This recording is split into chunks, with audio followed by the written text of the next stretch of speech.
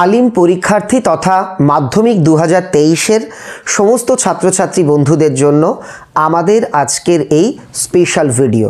তোমরা যারা স্কুল বা মাদ্রাসা থেকে এবছর ক্লাস টেনের ফাইনাল পরীক্ষা দেবে, তোমাদের জন্য আলিম টেস্ট পেপারে থাকা যতগুলো বাংলার প্রশ্নপত্র আছে, সবকটা সেটের এমসিকিউ অংশের সমাধান নিয়ে আমাদের আজকের এই ভিডিওটি। এজন্য স্কুল এবং মাদ্রাসার ছাত্রছাত্রী বন্ধুরা, আজকের ভিডিওটা সম্পূর্ণ দেখো। ভালো লাগলে লাইক করো। চ্যানেলে নতুন হয়ে থাকলে চ্যানেলটিকে সাবস্ক্রাইব করে পাশের বেল আইকন প্রেস করতে একেবারেই ভুলো না। ইতিমধ্যেই স্কুল বোর্ড অর্থাৎ পর্ষদের টেস্ট পেপার থেকে আমরা কিন্তু একাধিক সমাধানমূলক ভিডিও পোস্ট করেছি। একই সঙ্গে সবকটা বঙ্গানুবাদও পোস্ট করে দিয়েছি।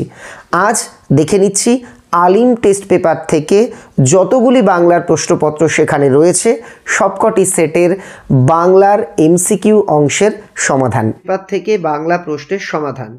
প্রথম প্রশ্ন, যে ট্রেনটি নদের চাঁদকে পিষে দিয়েছিল, সাত নাম্বার ডাউন প্যাসেঞ্জার ট্রেন। দ্বিতীয় প্রশ্ন, অদল বদল গল্পে যে দুই বন্ধুর কথা আছে আর কি, সেটা হলো অমৃত আর ইসাব পরের প্রশ্ন বাইজিৎ ছদ্মবেশে হরিদার রোজগার হয়েছিল আট টাকা দশ আনা। কনক আসন ত্যাজি বীরেন্দ্র কেশরী। এখানে বীরেন্দ্র কেশরী হলেন ইন্দ্রজিৎ। প্রলয় উল্লাস কবিতায় মূল উপজীব্য আর কি বিষয়টি হলো, প্রলয় হবে না, হবে বিপ্লববাদ। পরের প্রশ্ন, সমুদ্র নৃপতি সুতার নাম কি? পদ্মা। পালকের কলমের ইংরেজি নাম কুভিল বিখ্যাত দোয়াত সংগ্রহ যার ছিল, সেটা হলো শুভ ঠাকুর। যে বছর কলকাতা বিশ্ববিদ্যালয় পরিভাষা সমিতি নিযুক্ত করেন, উনিশশো ছত্রিশ। পাঁচ দিন নদীকে দেখা হয় নাই, নদীকে নিচে দাগ। এটা কোন কারক? এটা হবে কর্মকারক। যে বিভক্তি একাধিক কারকে প্রয়োগ হয় তাকে বলে। এখানে যে চারটে অপশন দেওয়া, চারটেই ভুল। উত্তর হবে তির্যক বিভক্তি বলে। পরের প্রশ্ন ব্যাসবাক্যের প্রথম পদটিকে কি বলা হয়? বলে পূর্বপদ সত্য ধর্ম সদা সদাচার। রেখাঙ্কিত সমাসের, আর কি রেখাঙ্কিত পদটি যে সমাসের উদাহরণ। সদাচার, এটা হলো কর্মধারায় সমাসের উদাহরণ, যার ব্যাসবাক্য হলো সৎ যে আচার। যে বাক্যে সাধারণভাবে কোনো কিছুর বর্ণনা বা বিবৃতি থাকে তাকে বলে নির্দেশক বাক্য। এর অপর নাম বিবৃতি বাক্য। এক পয়েন্ট পনেরো দাগ। বাক্য নির্মাণের শর্ত কি? যোগ্যতা, আকাঙ্ক্ষা, আসক্তি। এক পয়েন্ট ষোলো দাগ। কর্তৃবাচ্যে প্রাধান্য পায় কর্তা। আর এক পয়েন্ট সতেরো দাগ, এ সমস্তই তার জানা। এটা কোন বাচ্যের উদাহরণ? উত্তর কর্ম কর্মবাচ্যের উদাহরণ। চলে যাব পরবর্তী সেট প্রশ্নপত্রে। এবারের সেট তোমরা দেখতে পাচ্ছ স্ক্রিনে প্রথম প্রশ্ন। সে জানতো না, সে বলতে বোঝানো হয়েছে। এখানে আর কি টাইপে মিস্টেক আছে। সে জানতো না বলতে কাকে বোঝানো হয়েছে? একজন সাধারণ নারীকে। ছিনিয়ে নিয়ে গেল তোমাকে। কে ছিনিয়ে নিয়ে গেল? রুদ্র সমুদ্রের বাহু ছিনিয়ে নিয়ে গেল। পলিটিক্যাল সাসপেক্টের নাম কি ছিল? সভ্যসাচী মল্লিক। তারপর যুদ্ধ এলো। উত্তরটা হবে রক্তের এক আগ্নেয় পাহাড়ের মতো। আফ্রিকার ক্রন্দন কেমন? উত্তর ভাষাহীন। কিসের গন্ধে থানা শুদ্ধ লোকের মাথা ধরে গেল? উত্তর হবে, লেবুর তেলের গন্ধে। রাজা রাজশেখর বসু, যার লেখা জ্যামিতি বই পড়েছিলেন, ব্রহ্মমোহন মল্লিক, নিবের কলমের আঘাতে মারা গিয়েছিলেন তৈলক্যনাথ মুখোপাধ্যায়। নদের চাঁদ কোথায় মানুষ হয়? উত্তর, নদীর ধারে মানুষ হয়। সে সে কাল দিল্লি যাবে। এখানে ছাপাতে একটু ভুল আছে। সে তারপরে ফাঁকা কাল দিল্লি যাবে। এখানে সের নিচে দাগ দেওয়া, এটা কোন বিভক্তি হবে? দাগটাও এখানে পড়েনি। সে হলো শূন্য বিভক্তি। নীলকণ্ঠ, পদটি কোন সমাসের উদাহরণ? নীলকণ্ঠ যার, এটা বহুব্রীহী সমাসের উদাহরণ। ব্যাসবাক্য অন্য যে নামে পরিচিত বা প্রচলিত, তা হলো বিগ্রহ বাক্য বিভক্তি শব্দের অর্থ হলো বিভাজন বা ভাগ। গ্রামখানি, মেঘে ঢাকা প্রভাত বেলা এখানে খানিটা কি? খানি হলো নির্দেশক। জ্ঞানহীন পদটি কোন সমাসের উদাহরণ? জ্ঞান দ্বারাহীন, করণ তৎপুরুষ। আর ষোলো দাগ, এর মধ্যে কোনটি দ্বন্দ্ব সমাসের উদাহরণ? গান বাজনা। গান ও বাজনা। সমাস হলো কি? উত্তর পদে পদে মিলন। আমরা চলে যাব পরের সেটে। এই সেটের বড় প্রশ্নগুলোও তোমরা স্ক্রিনে এক ঝলক দেখে নিতে পারলে পরের সেট। পরবর্তী সেটগুলির সমাধান অবশ্যই তোমাদের সামনে তুলে ধরবো। তার আগে তিনটে ঘোষণা। যারা স্কুল বোর্ড থেকে মাধ্যমিক দেবে, অর্থাৎ মধ্যশিক্ষা পর্ষদ থেকে মাধ্যমিক, তোমাদের জন্য লাস্ট মিনিট সাজেশান আগামী কয়েকদিনের মধ্যেই আমি পোস্ট করব। দ্বিতীয়, যারা আলিম বোর্ড থেকে মাধ্যমিক পরীক্ষা দেবে, তোমাদের জন্যেও সাজেশান তৈরির কাজ কিন্তু একদম শেষ পর্যায়ে। তৃতীয়ত, যারা হাই মাদ্রাসা থেকে মাধ্যমিক পরীক্ষা দেবে, তোমাদের কাছে আমার একটা অনুরোধ আমি এখনও তোমাদের টেস্ট পেপারটা হাতে পাইনি। তাই তোমাদের টেস্ট পেপারে থাকা বাংলা প্রশ্নগুলোর যদি একটা ছবি তুলে বা পিডিএফ করে আমাকে তোমরা ইমেল মারফত কিংবা আমাদের টেলিগ্রাম গ্রুপে পাঠাতে পারো, খুব ভালো হয়। আমি আমাদের টেলিগ্রাম গ্রুপের লিংক আর আমার ইমেল আইডি আর ডিসক্রিপশানে দিয়ে দেব। অবশ্যই তোমরা পাঠিয়ে দিতে পারো। সম্ভব হলে তুমি যদি তোমার লাস্ট পাঁচ বছরের হাই মাদ্রাসার প্রশ্নটাও পাঠাতে পারো তাহলে তোমাদের জন্য লাস্ট মিনিট সাজেশান তৈরি করতে আমার কিন্তু সুবিধে হবে। দেখে নিচ্ছি পরের সেট শ্রী তপন কুমার রায়ের লেখা গল্পের নাম প্রথম দিন হরিদাস জীবনের পেশা বহুরূপী সাজা অমৃত ইসাবের বাবা পেশায় চাষি বেঁধে বেঁধে কথাটির অর্থ হলো এখানে অপশান ভুল। এখানে দেওয়া হয়েছে বেঁধে বেঁধে, কি দিয়ে বেঁধে বেঁধে থাকার কথা বলা হয়েছে, তার অপশান দেওয়া। বেঁধে বেঁধে কথাটির অর্থ হলো একতাবদ্ধ বা একত্রিত হয়ে থাকা। আর কি দিয়ে বেঁধে বেঁধে থাকার কথা বলা হয়েছে, অপশানে হবে হাতে হাতে। অভাগী বলে কে নিজেকে সম্বোধন করেছে? প্রমীলা, ইন্দ্রজিতের কাছে নিজেকে অভাগী বলে সম্বোধন করেছে। কার মাথায় ময়ূর পালক গোজা? ঋষি বালকের মাথায়।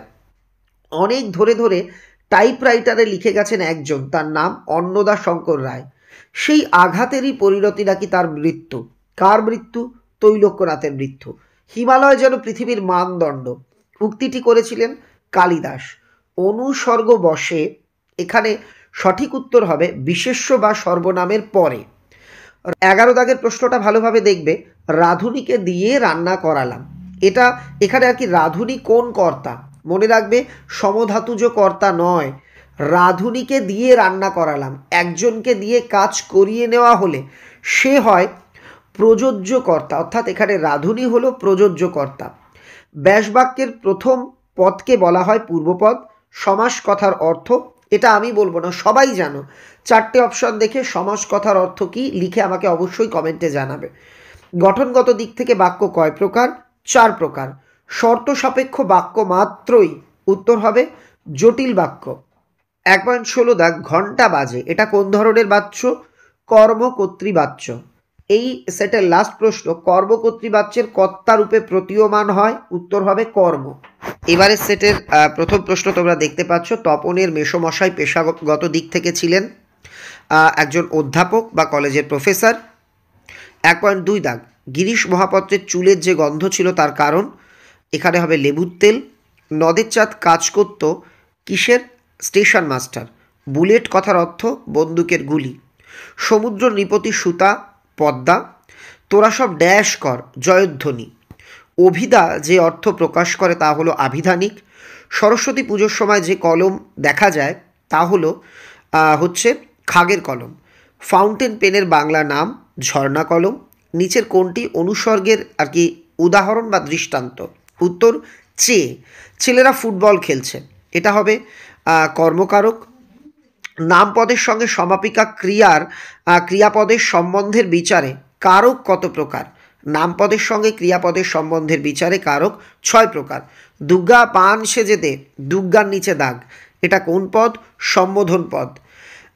যেসব পদের সমন্বয় সমাসবদ্ধ পদটি গড়ে ওঠে তাকে বলে অপশানটা ভুল আছে। এখানে হবে সমসমান পদ। বা পরোপকার। এর ব্যাসবাক্য হবে পরের নিমিত্ত উপকার। এক পয়েন্ট ষোলো দাগ। যে সমাসের ব্যাসবাক্য হয় না, তাকে বলে নিত্য সমাস। সাতারো দাগের প্রশ্নটা একটু ত্রুটিপূর্ণ। দেওয়া হয়েছে চতুহ অঙ্গের সমাহার। শূন্যস্থানে বসবে। শূন্যস্থানে বসবে না, বোঝানো হয়েছে চতুহ অঙ্গের সমাহার। এই ব্যাসবাক্যকে সমাসবদ্ধ করলে হবে চতুরঙ্গ।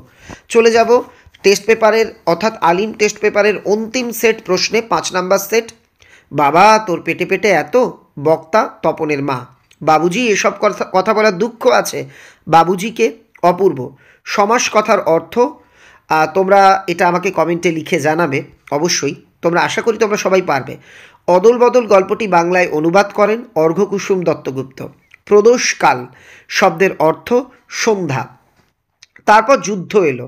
কেমন? আগের সেটেই বলে দিয়েছিলাম, রক্তের এক আগ্নেয় পাহাড়ের মতো। অস্ত্রের বিরুদ্ধে গান, কবিতার উৎস, পাতার পোশাক, কালি, কলম, মন লেখে তিনজন। এটা কি? এটা একটা প্রবাদ। সেন্সোটাইজড পেপার এটার কি সঠিক বাংলা অনুবাদ হবে? সুগ্রাহী কাগজ। কলমের দুনিয়ায় সত্যিকারের বিপ্লব ঘটায় ফাউন্টেন পেন রাজায় রাজায় যুদ্ধ হয়। এই বাক্যের কর্তা, অর্থাৎ রাজায় রাজা, রাজায়, এটা কি কর্তা? এটা হবে ব্যতিহার কর্তা বহুব্রীহি সমাসে প্রাধান্য পায় অন্য পদ বা তৃতীয় কোনো পদ। এক পয়েন্ট তেরো দাগ। যার সঙ্গে তুলনা করা হয়, তাকে বলে উপমান। আজকের দিনটা বেশ কাটলো। গঠনগত দিক থেকে বাক্যটি সরল। এক পয়েন্ট পনেরো দাগ। প্রশ্নটা ভুল আছে। প্রশ্ন রয়েছে, বাঁশি বাজে, এটি কোন ধরনের কর্তা? এটা তো কর্তা নয়, এটা একটা বাচ্চের উদাহরণ। উত্তর হবে এটা কর্মকর্তৃবাচ্য। পরের প্রশ্ন ইসবের মেজাজ চড়ে গেল। নিম্নরেখ পদটির কারক, মেজাজের নিচে দাগ, এটা হবে কর্মকারক। আর অন্তিম প্রশ্ন, উভয় পদের অর্থ প্রাধান্য পায় কোন সমাসে? উত্তর হবে দ্বন্দ্ব সমাসে। এই ছিল আলিম টেস্ট পেপারের সমাধান। ইউটিউবে সর্বপ্রথম আমরাই এটা পোস্ট করলাম। কেমন লাগল আলিম, হাই মাদ্রাসা এবং মধ্যশিক্ষা পর্ষদের ছাত্রছাত্রী বন্ধুরা, অবশ্যই আমাকে কমেন্ট করে লিখে জানিও। আমাদের সব্বার সাফল্য কামনা করি। সব্বার মঙ্গল হোক। ধন্যবাদ।